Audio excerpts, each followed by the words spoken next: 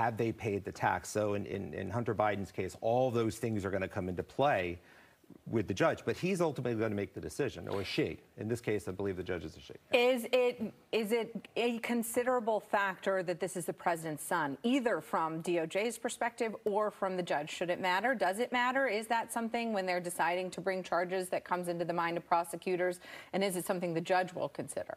It really shouldn't be. I mean, you really want to have all U.S. citizens that, uh, if unfortunately they come into some situation where they're criminally charged or they've done something wrong, you want everybody to be treated fairly. And the prosecutors and the judge really kind of have to abide by that because as U.S. citizens, that's what we expect, right? We don't expect preferential treatment. But I do think there is some sort of question about this deal but we don't know the facts behind it. Right. As you pointed out several times, there's we still have unanswered questions, right? right? What are some of those unanswered questions?